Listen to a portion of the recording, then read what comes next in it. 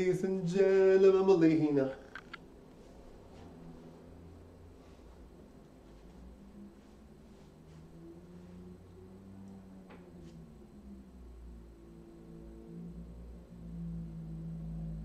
Bye guys, thank you so much.